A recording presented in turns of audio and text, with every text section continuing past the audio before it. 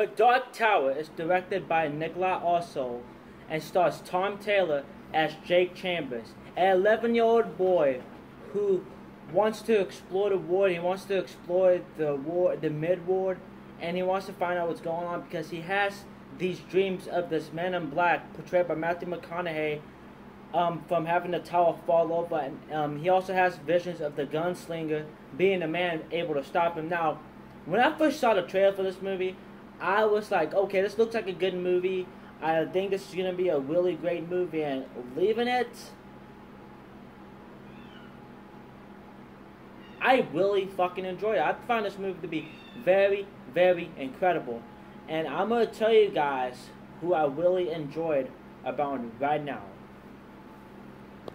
Okay, so first of all, Matthew McConaughey was a great villain. I love the way his villain was portrayed in this movie. I thought he did a freaking fucking fantastic job as the villain. He was incredible. He was scary. He was menacing. He was everything I want out of a villain. I mean, Matthew McConaughey is such a great actor. He's improved a lot as an actor. I I've always liked him, but he's improved a lot as an actor his films like Interstellar, it was incredible. He uh, it was an incredible actor. The almost Dazed and Confused, I have not seen yet. I picked that up today. I really want to see it. That was the first movie he said, uh, right, uh, right, uh, right. And I really do like Matthew McConaughey, and I did like him as the Man in Black. So I'm so happy he finally played a villain in his career. I hope he plays more villains. I hope they offer him more villain roles. Matthew McConaughey, if you're watching this video, you did a good job, man.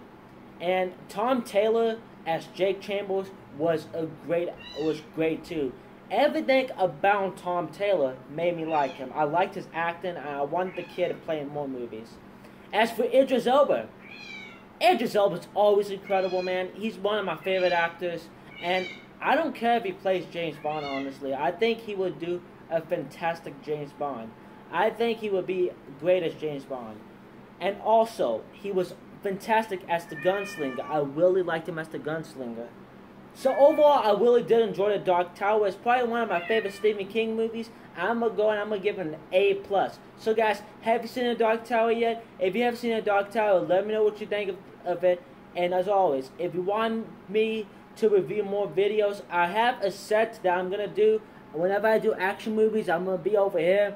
Then I have a new set for when I do horror films. My horror films are over there. So I think that's what I'm gonna do from now. On. Whenever I'm doing a horror movie or a action movie, action movies are gonna be right here, and horror movies are gonna be right here. It was kind of weird for me to do what the Dark Tower was, but the Dark Tower was more of an action. So I was that's why I did it in here, in this layer of um, not this layer, layer, in this um set right here is because Dark Tower is action.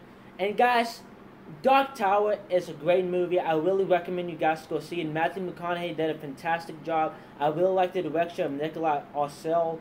And I am definitely going to buy this on Blu-ray. Matthew McConaughey, Idris Elba, you guys did fantastic. And Tom Taylor, I'm so glad he played in it. Katheryn Winnick was also in this movie too as Jake's mom. And she did fantastic. Even though she was only there for like 15 minutes, she did awesome. So guys, please let me know your thoughts on The Dark Tower if you have seen it. If you have not seen it, Please comment below and let me know what your favorite Stephen King movie is.